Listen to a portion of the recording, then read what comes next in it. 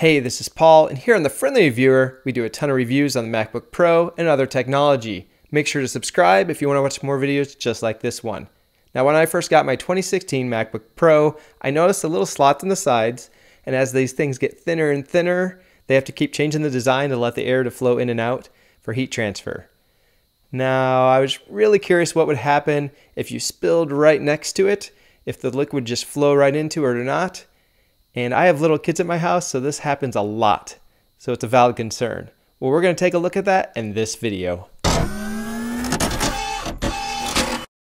This is the 15-inch 2016 MacBook Pro. There are slots on the bottom of either side and on the back to allow for airflow. The opening of the slots are cut out the case at an angle. Inside the slots are smaller slots that allow for the air to flow in and out of the case. Even though it looks like the slot is right at the bottom of the case, looks can be deceiving. The bottom of the MacBook Pro is tapered around the edges, and there are also little feet that raise it up as well. My concern when I first saw this is what will happen if I spill something near it. One good thing is that the liquid will have to go up and over, so it's protected from spray, getting into the slots from the side, and also the lid helps protect the back when it's open. But a wave will make it right through. The other good news is that the liquid can flow under the laptop since the feet raise it up, so it won't make the wave increase in size when it hits against the side of the laptop. After some careful measurements, I found that there's only about 4 to 5 millimeters of clearance before something that gets spilled will make it into the case. To test this out, we're going to spill 2 ounces, 4 ounces, and 8 ounces of liquid on a table. Unfortunately, I don't make enough money on YouTube to destroy my laptop just for this test, and I wouldn't advise you to do it either. So instead, I'm going to use a board with little feet representing the height that it would be needed to get the liquid into the laptop. Using space gray construction paper on the top, we can see where the liquid goes. If the liquid gets on top of the board and gets the construction paper wet, it would have gotten into the laptop. The first test is with 2 ounces of liquid.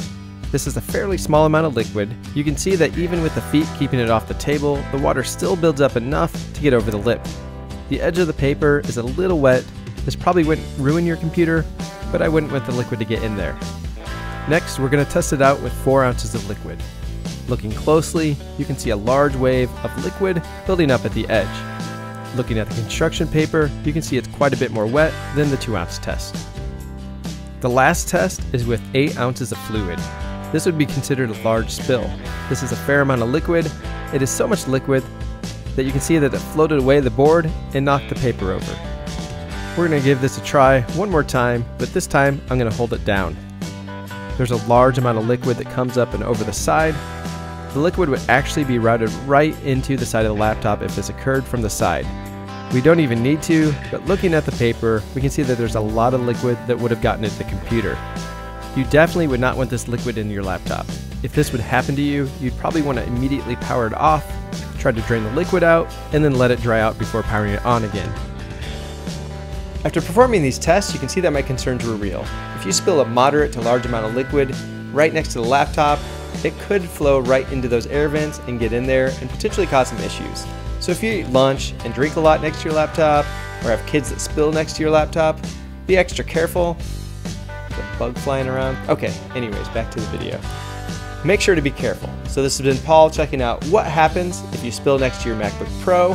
Thank you for watching. This bug here.